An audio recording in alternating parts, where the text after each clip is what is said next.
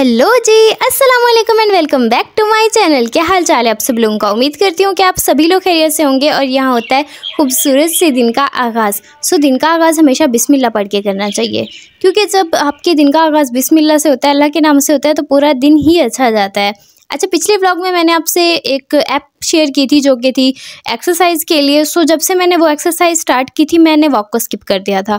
और फिर दो चार दिन के बाद मुझे रियलाइज़ हुआ कि नहीं वॉक के ना अपने बेनिफिट होते हैं। तो फिर मैंने ना आज से दोबारा से ना वॉक स्टार्ट कर दी थी। सो अगर आप कुछ ज़्यादा नहीं करते हो एक्सरसाइज वगैरह तो बस आधे घंटे के लिए वॉक कर लिया करो। ये काफ़ी अच्छा रहता है। फ़ोन पर बात करते हुए जो कुछ आप कुछ सुनना हो, कोई बयान, कुछ भी चीज़ तो फिर वो ना आप हैंड फ्री लगा कर भी ईजिली वॉक कर सकते हो। और यहाँ पर मेरा वॉक हो गया था, फिर मैं गई थी छत पे और दो तीन बार मैं ना सीढ़ियाँ उतर चढ़ ली थी मैंने। ये मैं कभी कभी करती हूँ, रोज़ का नहीं होता, लेकिन कोशिश तो नियत तो हमेशा ही करती हूँ ना कि बस करूँगी। फिर आके मैंने पिया था खूब सारा पानी। मॉर्निंग ड्रिंक्स आपको बहुत ज़्यादा मिल जाएँगी इंटरनेट पर, जो कि डिफरेंट होती हैं। अगर किसी चीज़ का फ़ायदा होता है ना तो फिर उसी का ना कहीं ना कहीं आपको नुकसान भी हो सकता है। सो या तो आप किसी से मशवरा करके मतलब किसी डॉक्टर से मशवरा करके मॉर्निंग ड्रिंक लेना। अदरवाइज़ चेंज करते रहना। मोस्टली पानी पी लेती हूँ मैं सिंपल या फिर थोड़ा गर्म पानी। और फिर बीच बीच में ना कोई ग्रीन टी लेमन ग्रास कुछ भी मैं लेती रहती हूँ। सो यहाँ पर मैं बना रही थी अपना नाश्ता और आज मैंने सोचा है तमाम के साथ खाना बनाना चाहिए। सो यहाँ पर मैं बनाने वाली हूँ मेथी के पराठे। कल ना सालन के लिए मेथी आई थी, उसे देख के मेरा दिल कर गया कि चलो मेथी के पराठे बनाते हैं। सो यहाँ पे मैंने मेथी ली थी, धनिया लिया था, सब्ज मिर्ची ली थी और साथ में लहसुन और इन सब चीज़ों को पेस्ट बना के ना फिर पराठा बना लिया था। पराठे की वीडियोज़ आपको मेरे चैनल पर मिल जाएँगी। तिल वाले पराठे वाली वीडियो है वो आप लोग चेक करना। बहुत ही मज़े के बने थे वो भी। सो so, ये पराठे मैंने अपने इंजॉय किया फिर मैं गई थी अपनी मुर्गियों के पास। आज ना मुझे अपनी मुर्गियों का घर जो था वो साफ़ करना था। हाफ़ घर इसका मैंने जब साफ़ किया ना मट्टी जहाँ पे इकट्ठी की थी इतनी मट्टी में खुश हो रही थी मुर्गियाँ। क्योंकि यहाँ पे मट्टी होती है बट इतनी ज़्यादा मट्टी नहीं होती कि ढेर लगा हुआ हो। सो जो जैसे ही मैंने मट्टी एक जगह पे इकट्ठी की तो ये मट्टी में नहा रही थी। और बचपन में ये चीज़ हमने बहुत देखी है मुर्गियाँ ना मट्टी में नहा रही होती है। और ये देखो, इतना ज़्यादा कचरा निकलता है जब मैं इनकी सफ़ाई करने के लिए आती हूँ। कभी कभी ना इसे डबल भी हो जाता है। सो, कुछ मिट्टी मैं छोड़ देती हूँ, बाकी ऊपर से जो भी कचरा वगैरह होता है वो मैं निकाल देती हूँ। बाकी इन मुर्गियों की स्पेस काफ़ी बड़ी है। ये यहाँ पर बहुत ज़्यादा खुश रहती हैं। और मेरे ख्याल से मुर्गियाँ घर पर रखनी भी चाहिए। और अगर आपके घर में बच्चे हैं तो फिर तो रखनी ही चाहिए, क्योंकि बच्चे जो होते हैं वो इन चीज़ों को देखते हैं इन्वॉल्व होते हैं, खुश होते हैं।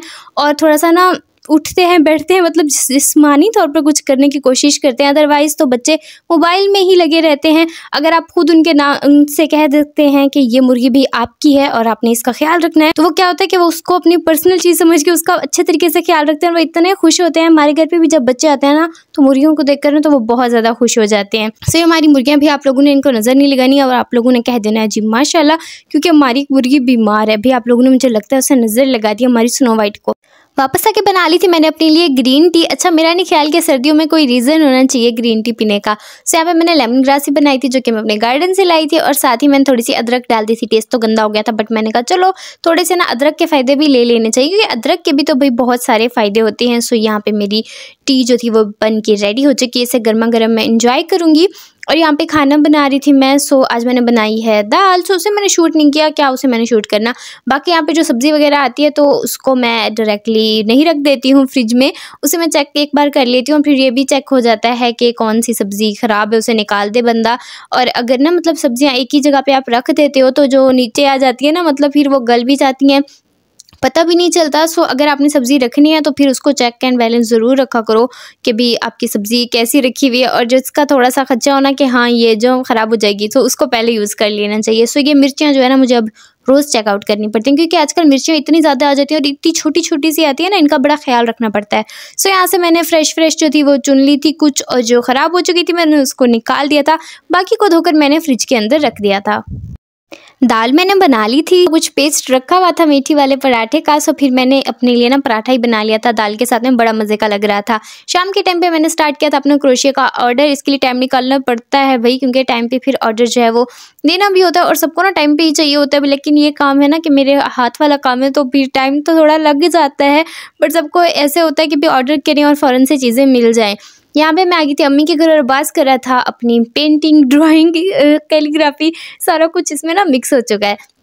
सो so, यहाँ पे ना अब्बास ने ड्रा किया था फेस जो कि था किसी इन्फ्लुएंसर का। मैं इसका नाम भी पूछना भूल गई थी अब्बास से। अच्छा ये बहुत ही प्यारा बना हुआ था और एग्जैक्टली पिक्चर की तरह ही था और उन्हें कुछ ना इसमें फ़लस्तीन वाला टच चाहिए था। सो so, फिर अब्बास ने पीछे ये बहुत ही प्यारा प्यारा सा फ़लस्तीन लिख दिया था जिसके अंदर फ़लस्तीन का झंडा भी जो है वो मैंशन है और ये बहुत ही ज़्यादा प्यारा लग रहा था। बाकी आप लोगों ने मुझे ज़रूर बताना है कि ये आपको कैसा लगा ये वर्क अब्बास का। बाकी अभी ना इसको कंप्लीट भी करना था और फिर अब्बास ने इसे पैक करके डिस्पैच भी करना था। क्योंकि जो भी हमारा काम वगैरह होता है ना स्मॉल बिज़नेस का, उसे बहुत ही ख्याल से करना पड़ता है। क्योंकि सारा कुछ आप खुद ही कर रहे होते हो, आपको लेकर जाना होता है, अच्छे से पैक करना होता है डिस्पैच करना होता है तो इस पर बहुत सारा काम चलता रहता है। बाकी आप लोग ना, खूब सारे कमेंट भी किया करो वीडियो पे। अच्छा मेरे भाई की एक फ्रेंड है, वो कह रही थी कि मैं ब्लॉग देखती हूँ बट आपने मुझे कमेंट नहीं करती, अगर आप मेरा ब्लॉग देख रही हैं तो भाई कमेंट कर दिया करें, मुझे ज़्यादा खुशी हो जाएगी। वैसे आपने मेरे ब्लॉग देखे और आपको पसंद है उसके लिए थैंक यू सो मच अगर आप लोगों में से कोई और भी ऐसा जो कमेंट नहीं करता तो प्लीज़ कमेंट कर दिया करो। अच्छा यहाँ पे मेरा भाई लेके आया था नारियल और ये इतना एक्साइटेड था ना नारियल को, कह रहा था खुद तोड़ेंगे, खुद खाएँगे।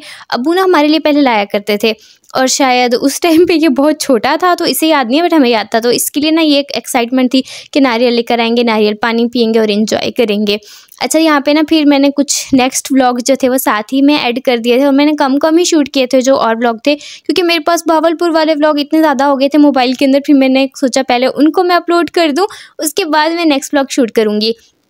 सो so, जी वो व्लॉग अगर आप लोगों ने नहीं देखे तो वो व्लॉग आप लोगों ने जाकर ज़रूर ज़रूर देखने हैं। अच्छा यहाँ पे हम लोगों ने मज़ेदार सा नाश्ता किया। और फिर मैं घुस गई थी कंबल में भी सर्दी रखती है ना तो फिर बंदे का दिल करता है कंबल में भी बैठा रहे।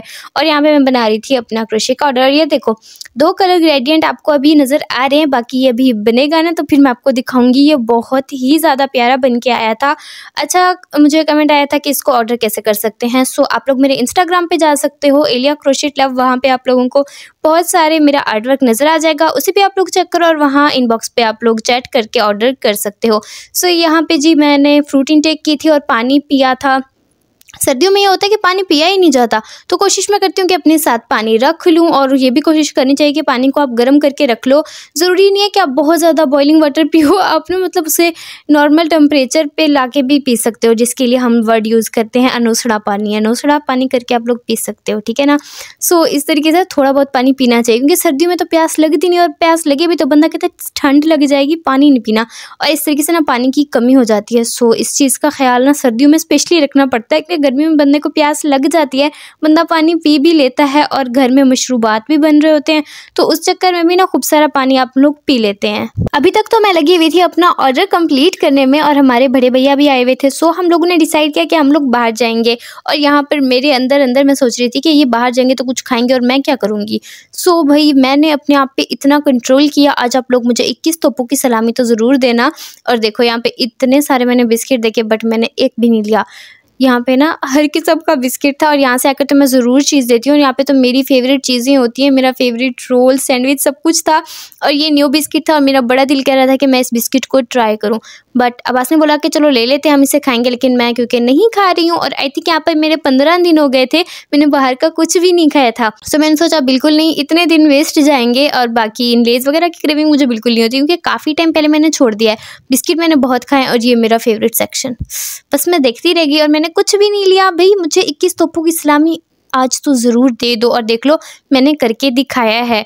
और बाकी यहाँ वाली चीज़ें हम लोग ना खा लेंगे। अब ऐसा तो नहीं कि कभी भी नहीं खाएँगे। बाकी आप लोगों को वीडियो अच्छी लगे तो लाइक करना, चैनल को सब्सक्राइब करना मत भूलना।